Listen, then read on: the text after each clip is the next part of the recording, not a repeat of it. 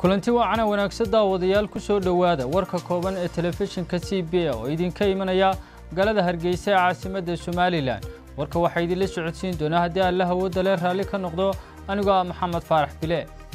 guddoomiyaha komishinka maamul wanaagga iyo la dagaalanka musuq maasuqa ee somalilan ayaa kulan la qaatay qaar ka mid a waaxaha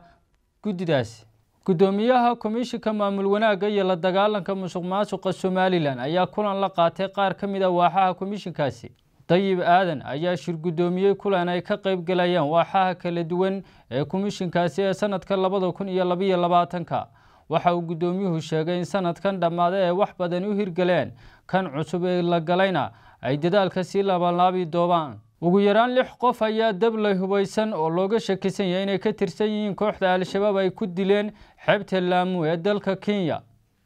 Ugu yaraan lix qof ayaa dabley looga shakisan yahay inay ka tirsan yihiin kooxda al-shabaab ay ku dileen deegaan xeebeedka laamu ee dalka kenya waxayna sidoo kale dab qabadsiideen guryo halkaasi ku yaalla booliska kenya ayaa sheegay in dagaalyahano hubaysan ay weerar ku qaadeen. Xaafado ka tirsan deegaanka wudu subaxnimadii saaka ra'iisul wasaarihii dalka suudaan cabdulla xamdo ayaa ku dhawaaqay inuu xilkaasi iska casilay. Kadib markii uu fashilmay iskudaygii uu ku doonayay inuu wax kaga qabto qalalaasaha siyaasadeed ee dalkaasi.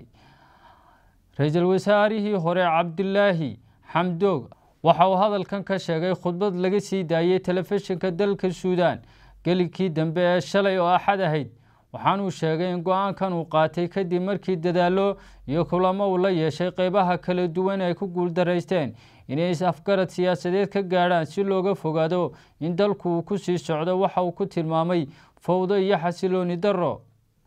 Jenaraal abubakar xaaji warsame xuud oo in muddo ahba ka soo horjeeday maamulka hirshabeelle ayaa beeniyey inuu isagu ku lag lahaa mas'uuliyadda dagaal shalay ka dhacay duguleedka magaalada beledweyne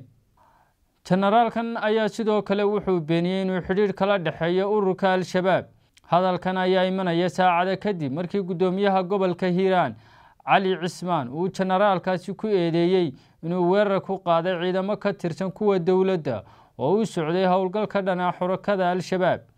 Jenaraalka ayaa sheegay in hadda uu isagu gacanta ku hayo magaalada beledweyne islamarkaana uu qorsheynayo inuu gobolka hiiraan uu u dhiso maamul goboleed u gaara oo aan ahayn hirshabeelle dowladda iiraan ayaa ugu baaqday qaramada midoobay inay tallaabo ka qaado dalka maraykanka oo ay sheegeen in laba sano ka hor shirqool uu ku dilay qaasim suleymaani oo ahaa sarkaal muhiim uu ahaa ciidanka iiraan. Xukuumadda tahraan waxa ay xustay in suleymaani uu ahaa taliyihii ciidamada ilaalada kacaanka ee ku sugnaa caasimadda ciraaq ee baqdaad halkaasoo uu joogay howlo diblomaasiyadeed ka hor markii kolonyo uu la socday lagu burburiyey. Gantaalo laga soo tuuray